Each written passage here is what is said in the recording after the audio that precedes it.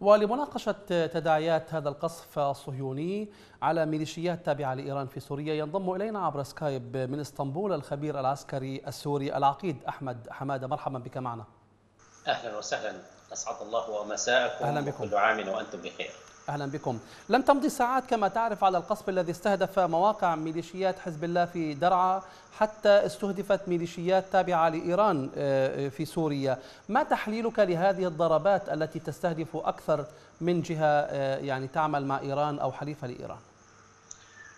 أخي الكريم بالنسبة للتواجد الإيراني والتواجد حزب الله والميليشيات التابعة لإيران هو يشمل كل الأراضي السورية. فمثلا في منطقة الجولان هناك توزع جغرافي لهذه الميليشيات. تبدأ من جبل الشيخ من منطقة حضر بيت تيمة بيت سابر وحتى عين النورية وحتى القنيطرة الحميدية مدينة البعث العمالية تلول الحمر. كل هذه المنطقة في القطاع الشمالي تحتلها الميليشيات الإيرانية حتى تلول فاطمة ودير ماكر باتجاه دير العدس. هذا في هذه المنطقة.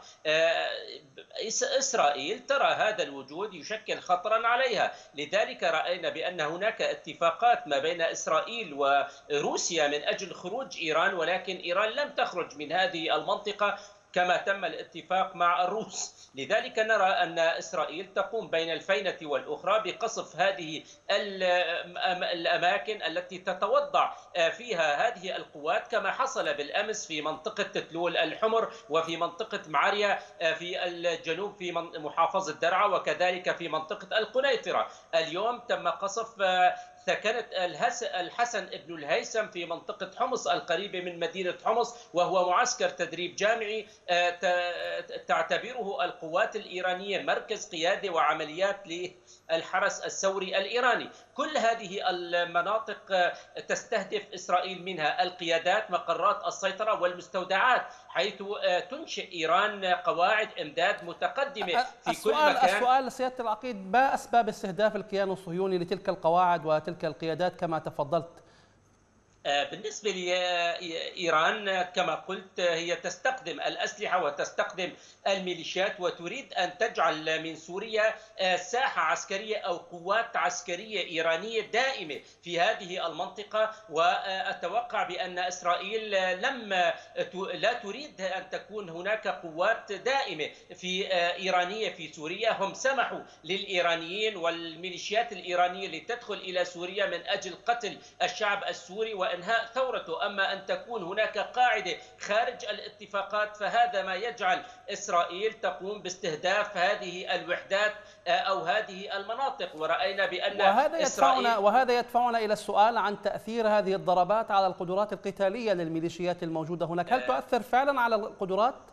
لا أتوقع بأنها تست يعني تؤثر على المدى البعيد. هذه الوجود الإيراني ووجود الميليشيات الإيرانية وقواتها مستمد من وجود بشار الأسد وهذه العصابة في الحكم في سوريا، من يريد أن يطرد الإيرانيين وهذه الميليشيات الطائفية من سوريا عليه أن يخلع نظام الحكم ويقدمه للمحاكمة، هذا بالتالي يتم طرد الإيرانيين، أما بهذه العملية الإسعافية لا يمكن أن يتم طرد الإيرانيين ولا يمكن أن تؤثر على القدرات القتالية إلا إذا كانت هناك حرب شاملة على هذه العصابات وهذه الميليشيات ولا تقتصر على القوات الصاروخية أو الجوية، يعني يجب أن تكون هناك دعم لل المعارضة السورية في الداخل والمعارضة السورية في الداخل هي التي تستطيع أن تطرد الإيرانيين وتقوض هذا الوجود الذي أوقفت الولايات المتحدة نعم. وكل دول العالم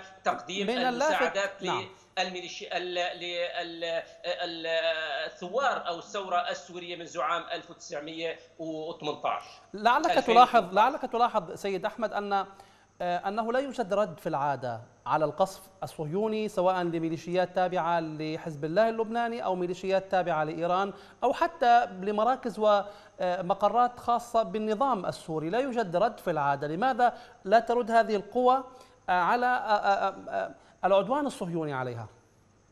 بالنسبة للرد أولا الجوي أو التصدي كما يدعي النظام فإن المنظومة الصاروخية أو الدفاع الجوي المتواجد في سوريا هو من الحقبة السوفيتية القديمة من بانستر وإس 300 وبوك وغيرها من هذه الأسلحة التي لا تغني ولا تثمن. هي لم تسقط طائرات ولم تسقط كذلك صواريخ.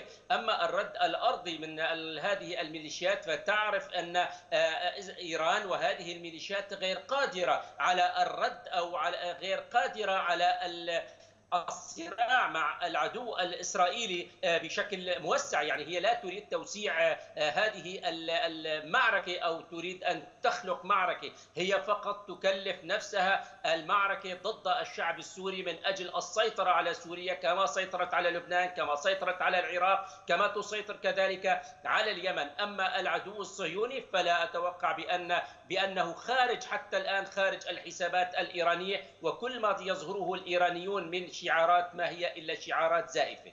نعم. إذا إذا حاولنا يعني السؤال عن ربط هذه الضربات بالقرار الألماني الخاص بحزب الله حظر حزب الله والترحيب الأمريكي بذلك هل ثمة ربط بين هذه القضايا؟ اولا هذه القص هذا القصف هو سابق للإعلان الألماني وكذلك تبع تبعه النمساوي والإنجليزي. ونتوقع بأن كل دول العالم تقوم بحظر هذا الحزب الإرهابي الذي أثبت إرهابيته فهو قاتل وهو متعدي على الجوار. وكذلك حزب يقوم بتبييض الأموال وتجاره المخدرات. هذا ما نراه من خلال الصفقات التي تم كشفها في المملكة العربية السعودية وكذلك في مصر من خلال علب علب الحليب وعلب المتة وكذلك اليونان. إذا اليوم إيران وحزب الله وهذه الميليشيات تدير حربا ضروسا ضد الأمة العربية. أولا حرب عسكرية وثانيا حرب من المخدرات من نوع آخر. لذلك القرار الألماني والذي تبعه من النمسا وكذلك بريطانيا وربما تتبعه غير دول ربما يشجع إسرائيل ويشجع كل القوى المتواجدة على الساحة في هذه المنطقة على قتال حزب الله وعلى طرد حزب الله من المناطق.